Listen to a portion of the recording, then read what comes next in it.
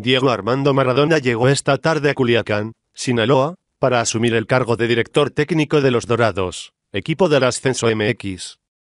Alrededor de las 14 horas, tiempo del centro de México, el retirado futbolista tocó suelo Culichi, portando una gorra y bufanda del equipo, tras hacer una conexión en la capital del país, a la cual arribó pasadas las seis horas.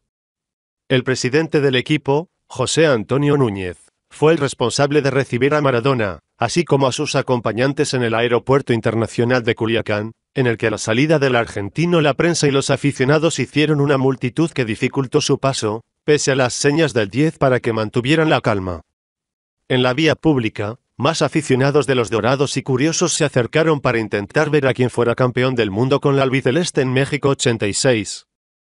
Bienvenido, Diego, hazlo por el escudo, a ganar, Diego, fueron algunos de los gritos que lo recibieron, además del clásico E, Oe, Oe, Oe, Diego, Diego. De inmediato abordó una camioneta gris que tardó en avanzar dada la cantidad de gente que la rodeaba.